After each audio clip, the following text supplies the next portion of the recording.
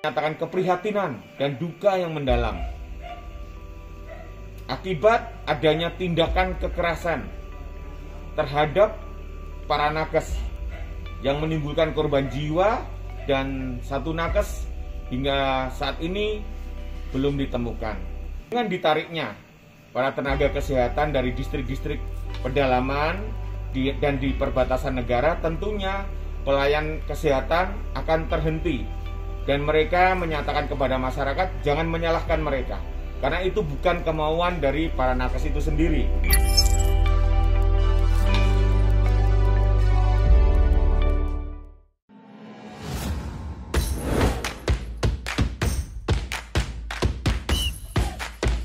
bubur ayam kalau diaduk-aduk jadi cair. Seriously. Diaduk kayaknya ya.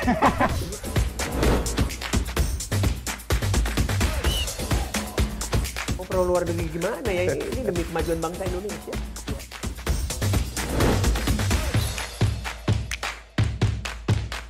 isu kebangkitan uh, PKI ini uh, dihentikan.